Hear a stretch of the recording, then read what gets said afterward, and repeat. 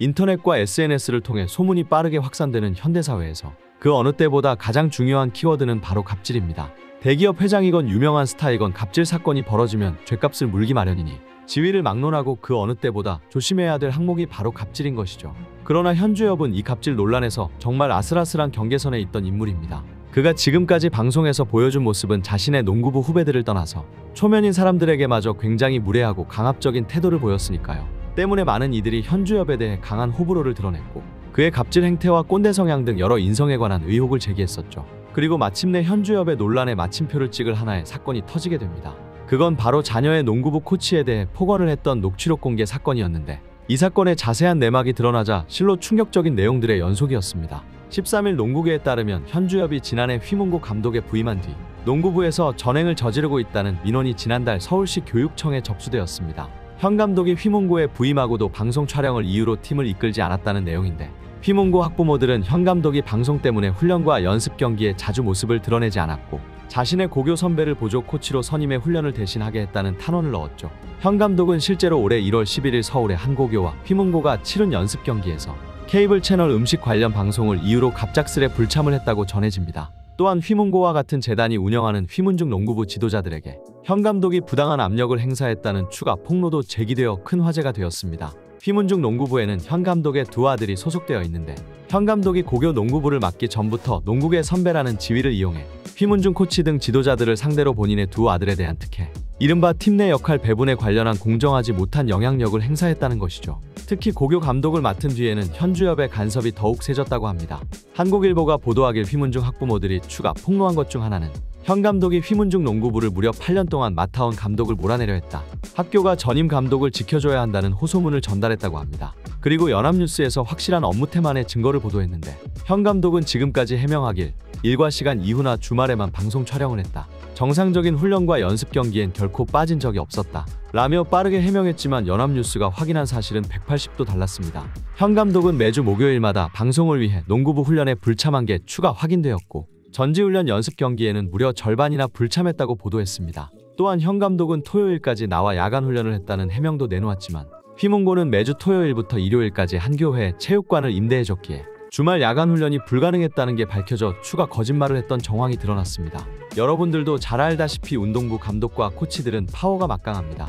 감독의 결정에 따라 자녀가 선발되거나 혹은 진로에 있어 특혜를 받을 수 있기에 학부모들은 을의 입장에서 매번 눈치를 보며 따라가기 마련이죠. 하지만 업무 태만이 얼마나 심했으면 이렇게 학부모들이 공식적으로 탄원을 했을까요?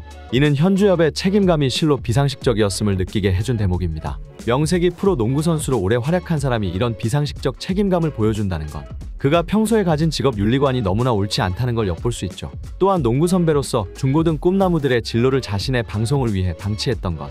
과연 그가 한국 농구의 발전에 사명감이 있는 인물인지를 의심케 만듭니다. 특히 연습 경기 중 자신의 휘문고 선수가 상대 측 선수와 크게 부딪히며 쓰러졌고 눈 부위가 찢어져서 장시간 일어나지 못하며 코트 위에서 씨름하고 있을 때 현장에도 없던 현 감독 때문에 결국 학부모가 조치를 취했다고 합니다. 학부모의 입장에선 정말 얼마나 화나고 속이 탔던 시간일까요?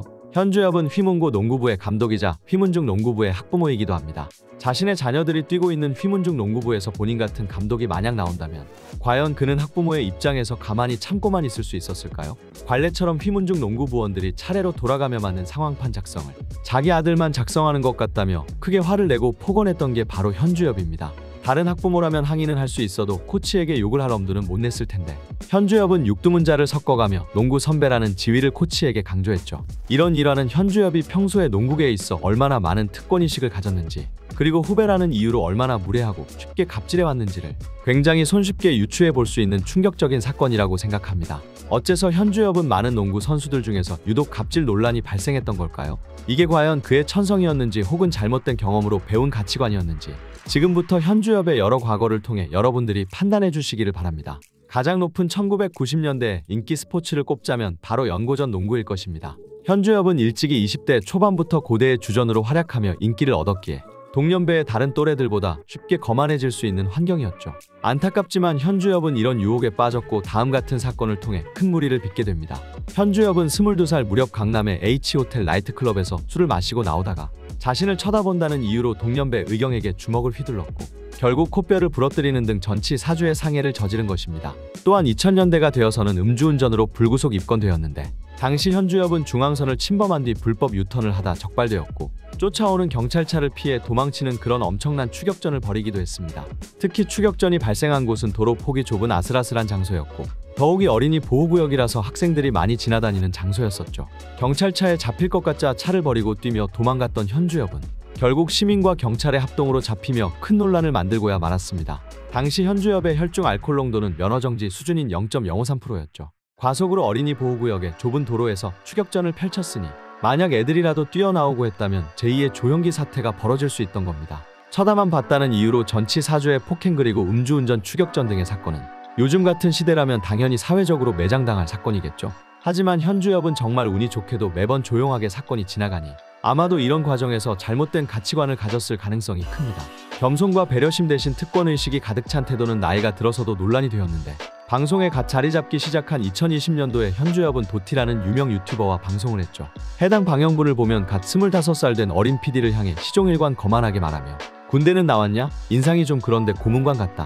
한 달 안에 그만둘 것 같다는 등 약을 올리며 비아냥댔고 더군다나 초면에 다짜고짜 도티의 월 수익부터 물어보거나 도티가 계산하는 자리임에도 불구하고 무려 14인분을 멋대로 주문하였죠.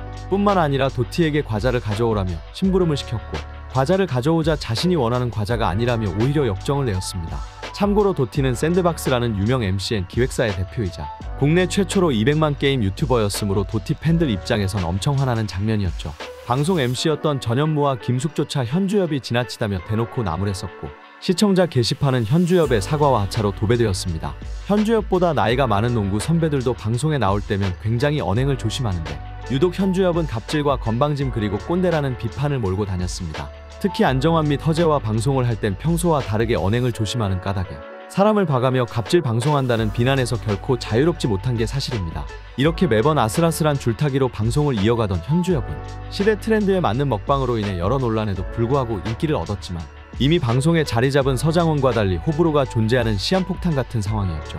그리고 현주엽이 유튜브에서 진행하는 먹방 컨텐츠에서 또 하나의 논란이 일어났는데 그것은 바로 이대호와 함께 진행하는 먹방 컨텐츠였습니다. 이대호는 다른 스포츠 스타들과 마찬가지로 은퇴 이후 방송을 통한 제2의 활동을 이어갔고 본인의 큰 체구와 걸맞게 먹방을 통해서 시청자들에게 접근했습니다. 그리고 은퇴 후 얼마 지나지 않아 현주엽과 김태균의 먹방에 출연하였는데 이대호는 김태균과 친한 친구라고 알려져 일종의 우정 출연을 했던 것이었죠. 하지만 방송 중 계속해서 현주엽이 김태균을 막 다루고 무시하다가 고기를 더 먹고 싶은데 제작진의 눈치가 보여 김태균이 더 주문을 원한다는 식으로 몰고 가자 보다 못한 이대호는 현주엽을 향해 형이 먹고 싶으면 그냥 형이 시켜요. 왜 자꾸 태균이를 갖고 그러세요? 라며 화를 내고 발끈하자 현주엽은 다른 운동 후배들과 달리 유독 이대호는 어려워하며 당황하였죠. 또한 이대호는 현주엽 및 현주엽의 농구 후배인 박광재와 먹방을 찍게 되었는데 비록 박광재와는 직접적인 인연이 없었지만 이대호가 운동 선배 대접을 하던 상황이었죠. 방송을 하던 중 현주엽이 박광재의 얼굴에 휴지를 던지며 또 선을 넘자 이대호는 뭔가 아닌 듯 싶어 잠시 정색한 표정으로 고민하더니 농구부 선후배 사이에 끼어들기 뭐했는지 가벼운 농담으로 분위기를 전환시켰습니다. 이 장면을 두고 네티즌들이 말하길 현주엽은 잘 나가던 선수들에겐 유독 약하다. 박광재였으니까 얼굴에 휴지를 던졌지 이대호에겐 감히 던질 생각도 못했을 거다. 이대호는 안정환과 방송할 땐 늘 조심하며 선을 넘지 않으려고 노력하면서 유명세가 없는 후배나 동년배와 촬영할 땐 유독 예의를 안 지키며 자주 선을 넘는다. 등의 비판적인 의견을 제시했고 이번 사태와 맞물려 더 큰 논란을 증폭시켰죠. 아무쪼록 90년대 농구를 사랑했던 이로써 망가져가는 스타들의 모습이 안타깝습니다. 현주엽의 입장에서도 억울한 부분이 있겠지만 주위의 의견을 귀담아 듣길 바랍니다. 부디 더 이상의 논란이 나오지 않길 바라며 오늘의 영상을 마치겠습니다.